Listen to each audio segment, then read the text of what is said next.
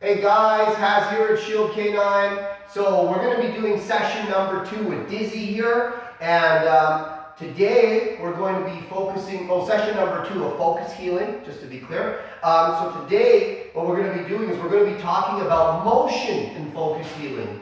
Okay, so before uh, the first session what we worked on was finishes. Right, so finishes just as a reminder basically how the dog gets next to you. All right? So today, what I'm going to do is we're going to talk about movement, motion, okay? And I work those things separately in the beginning. I do not work them together, all right? Now, ahead of time, I'm going to say, please forgive me if the camera moves out of focus. It's an auto camera, so I don't know. Sometimes it goes off in the la la land. Um, I'm going to try to get everything in angle, and we'll see how it goes. So, with motion, there's a couple of things. There's the mechanics, and then there's the rhythm and the expression. Okay? So mechanics are how does the dog move next to you? Does your dog know how to move next to you? So think about the four directions of movement. Okay? We've got forwards, backwards, left, and right. Your dog should know how to move with you in all those in all those quadrants, okay? So, forwards. Right? Dog knows how to move forward, okay? Backwards. Okay? Eat the food there. And left. All right, let's go. I'll do it right from here, guys. So, left. All right, and right. Good. All right, so those are the four uh, pieces of movement that we need to be concerned with. Now, how do we train this? Well, in the beginning, obviously Dizzy has some work done on her. In the beginning, what I like to do is I just teach the dog to follow my hand with the food. So I take my hand, I fill it with some kibbles, and I just get the dog moving after my hand and I reward the dog, right? If it helps you, just walk backwards. Right? Now your dog may be a little bit confused, so you see I give my hand a little wiggle, I have some food in there. Okay? And just get the dog familiar with following your hand. Then what you can start to do is you can hold your hand like this over the dog, and you can start to show the dog. Okay? just how to follow your hand. Now I know I'm dropping some kibble because I'm grabbing big handfuls and when she's eating it out of my hand I drop some. I can fix this problem later because it will cause a problem where the dog after every reward starts to smell the ground. Um, so with you, be careful with this because it can cause the dog to constantly check out, especially certain kinds of dogs. It can cause a problem. So anyways, once you've got the dog willing to follow, Follow that hand. It's time to start to show the dog how to move next to you. So, this is what I do. I just walk. That's it. Right? And I just start to get the dog comfortable in this position. Right? And when I start to see this behavior, just a few steps, then you know, I'm like, okay, now it's time for me a little bit to work on the, the, the, the four, the four quadrants of movement, okay? So, let's talk first about moving forward, all right? So, I'm going to, I have my hand here in her nose, one step, okay? And I reward, all right? So that's forward. One step, that's it. And I reward, okay? Now, once I have this, I'm going to teach the dog to walk backwards. All right? So, and the other thing too, you'll notice sometimes she's in and out a little bit with her butt. I'm going to try my best to keep her straight as I do this. I'm going to push in and down and pull up. There it is. Backwards. Okay? Now, obviously, in the beginning, she was a little bit more clumsy, so you have to be patient. All right. And down up. And I'm saying down and up for you guys, not for the dog, okay? So, again, watch my hand. Dog is forward. I'm just going to reward her here forward because I've done a few. Okay, bring her back next to my front foot there. Dog goes backwards. Ah, Good. okay. So, I've got my forwards and my backwards. Now, how am I going to do left and right? All right, well, for left, really easy. We already did it with the finish.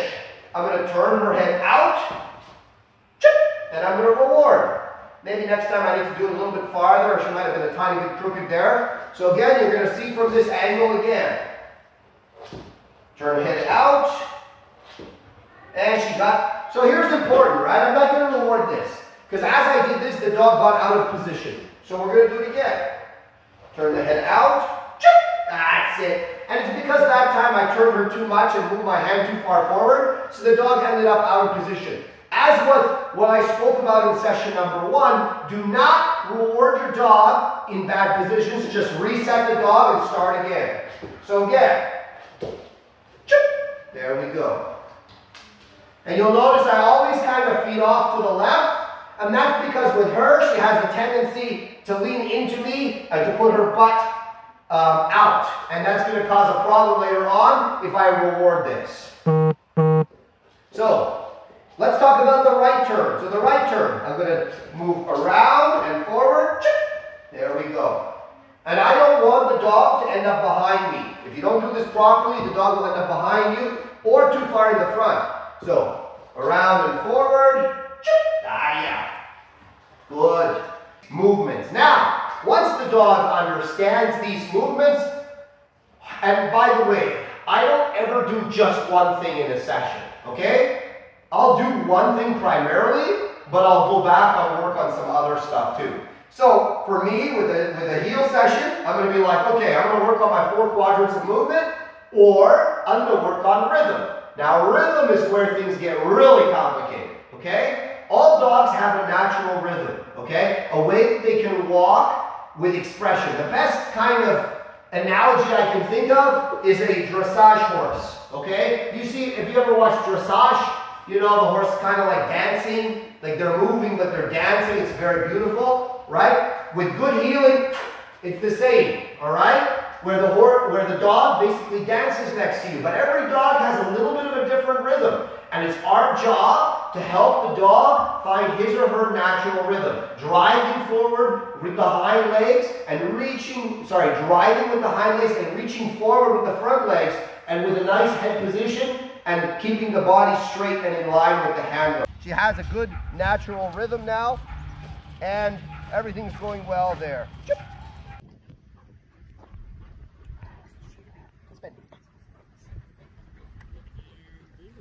Okay, this is very important. So, the way that I work on the rhythm is once I have a basic understanding where the dog will follow my hand, I basically just uh, move forward.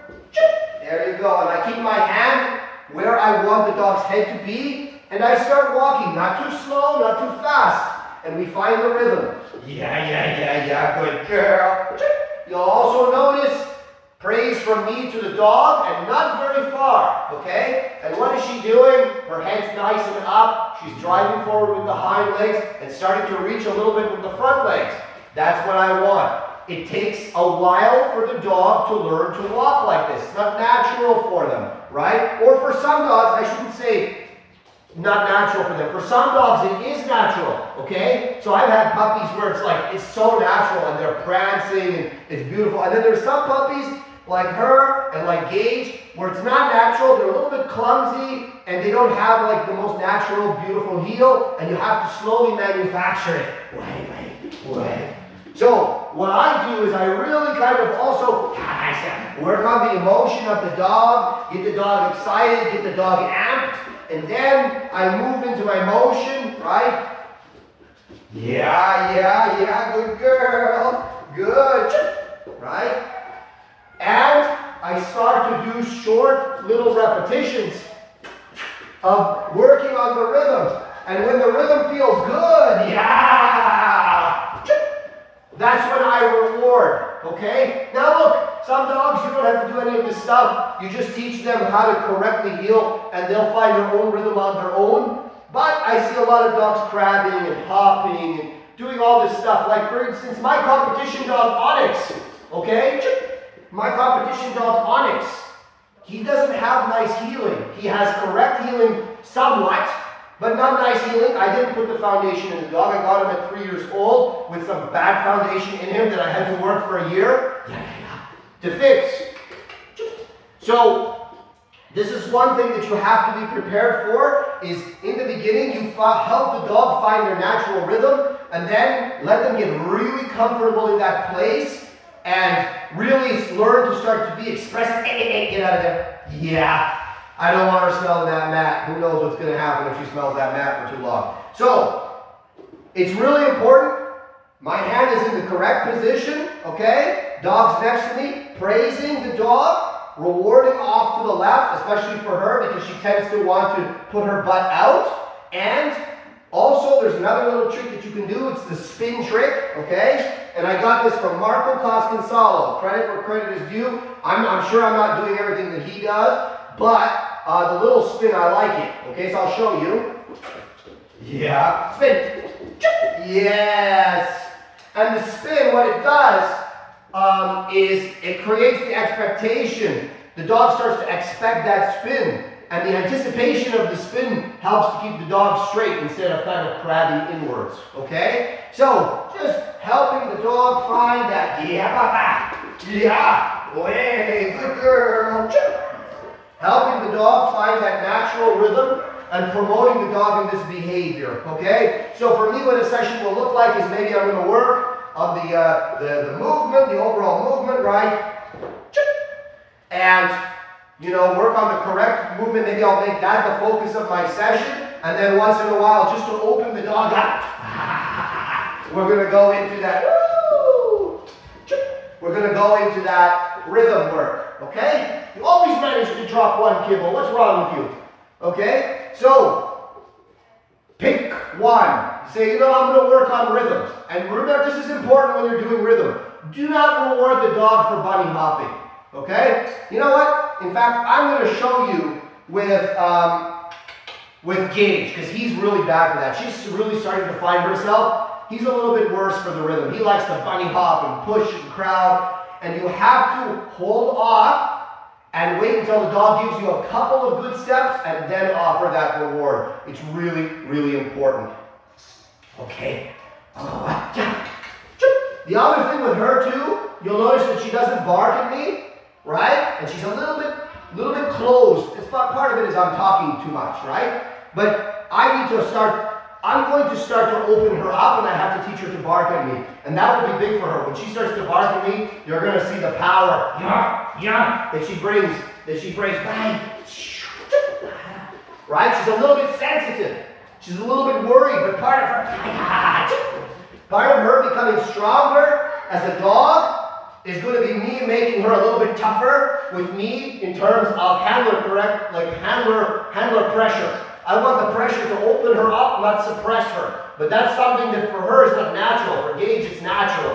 For her, a little bit suppressed easily by the handler. So I need to make her stronger. Yeah! Yeah, yeah, yeah, yeah, yeah. Oh. Yeah, yeah, yeah.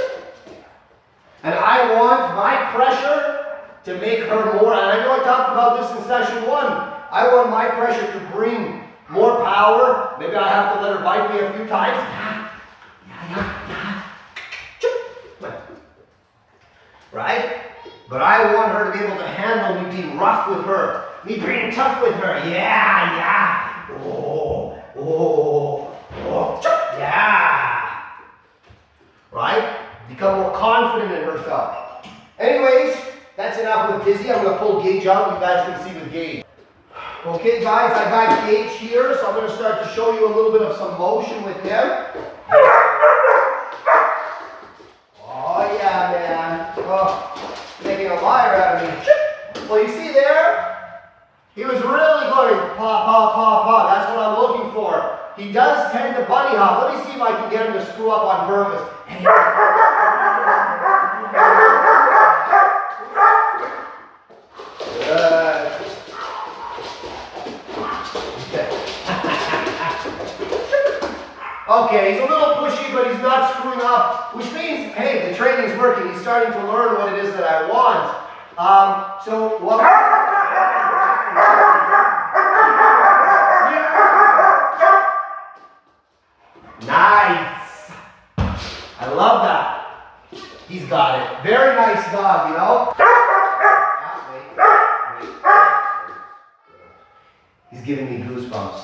I love that frustration. That is going to bring some fantastic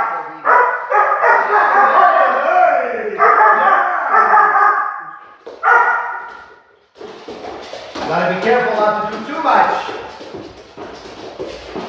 Whoa. Yeah. Yeah. Way. Very pushy, you know? So easy for him to start making mistakes. I don't actually normally hype him that much. All right? So for him, he needs to be a little bit less active, and for her, she needs to be a little more active, and both of them are going to find that happy balance. So um, you can start to see though with him, his rhythm's a little different than hers, but he's starting, in the beginning, he would do a lot of the crabbing. But now he's starting to learn paw, paw, paw, paw, and he's got the dance, he's getting the rhythm. Okay? So what I probably need to start working on more with him is mechanics, which I haven't really done, right? Enough. So the mechanics are going to help him become a little bit more stable in the position.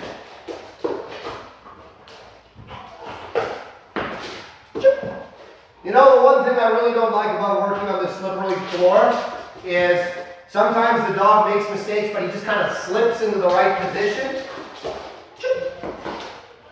And one thing with him is he's a bit of a clumsy puppy. So you can see there, not natural for him to come to the correct position. What are you doing? You paying attention? Okay.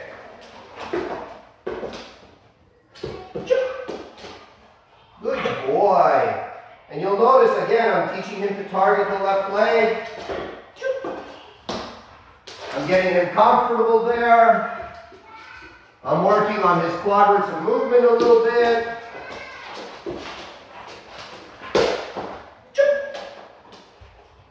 Okay. Always with the one kiddo.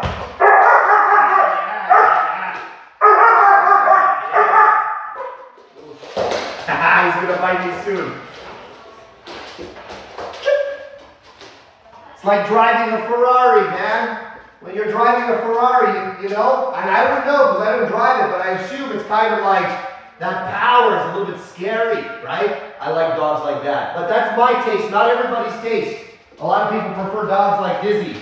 But me and Gage, I think we're going to be good friends. I may get some, some holes in me that I didn't have prior to working him, but that's okay. It's all part of it. You want power? Power comes at a price.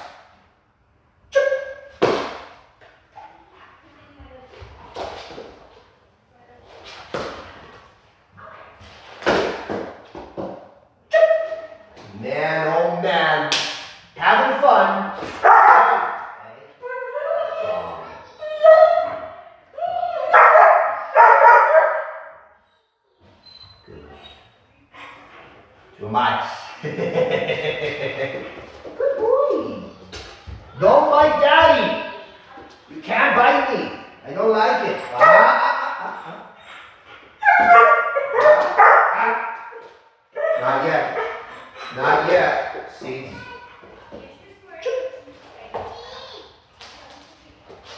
Good boy.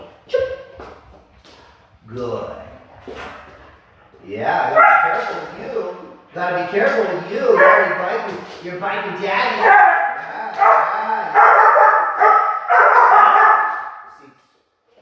See, Good. We got fire in the making here, folks. Ah, yeah.